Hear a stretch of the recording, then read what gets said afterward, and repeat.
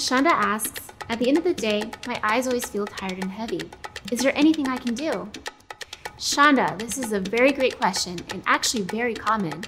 I'm going to go over three reasons why this might be happening and three things you can do. Number one, most of us work on a computer screen all day, and we actually don't blink as often as we think. As a result, our eyes tend to dry out faster, and this actually causes eye fatigue.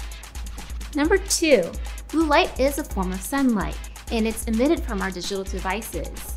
It can cause dry eyes, fatigue, headaches, and it could potentially have some long-term impact on our eyes. Number three, the work environment that you are in might not be optimal for your eyes. Use the 20-20-20 rule. That is, every 20 minutes, look at something 20 feet away for 20 seconds. And don't forget to blink. You can use blue filter computer glasses that come with anti-glare coating. The computer screen can emit harsh lighting, and blue filter glasses can help your eyes feel more comfortable.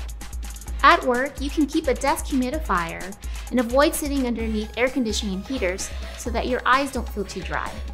Make sure you're not sitting too close or too far from your computer screen because that can also cause fatigue. Our eye muscles are constantly working hard all day so that we can perform our best. This is why your eyes can feel fatigued. Hopefully these suggestions will help your eyes feel less tired at the end of the day. Thanks for your questions. If you guys have any more eye-related questions, make sure you use the hashtag AskAnEyeDoc.